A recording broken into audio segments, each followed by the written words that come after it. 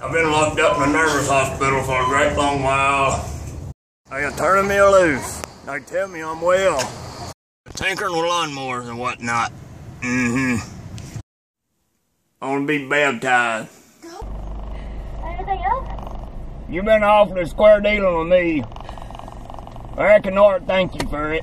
Mm-hmm. I'm your boy. I'm your oldest boy. Name of Karl.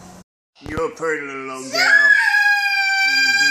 You got any biscuits for sale in there? Hold on. Reckon you can make me some biscuits. Mm-hmm. Whenever you take a notion to, I don't aim to put you out none. French fried potato? God, would you stop? Mustard on them good to me. It's just barely enough to scrape by on, I reckon. Make it yourself. Is that a big one?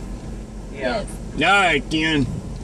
So I mostly just sat around out there in the shed, looking at the ground. Mm-hmm. I ain't like you. I'm old and give out. Mm-hmm. There's a long wood handle, kind of like an axe handle, with a long blade on it shaped kind of like a banana. Mm-hmm. She hopped up from there and started hollering, What'd you kill Jesse for? What'd you kill Jesse for? Come to find out, I don't reckon she much cared what Jesse's a doing to her. Reckon that made me madder than what Jesse had made me. Hmm. Me and you friend.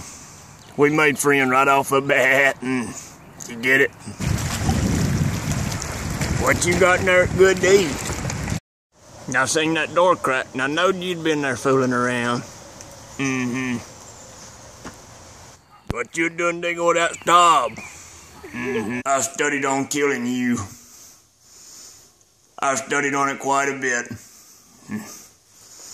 But I don't reckon there ain't no need for it. If all you gonna do, sit there in that chair. You'll be dead soon enough. And the world will be shut of you.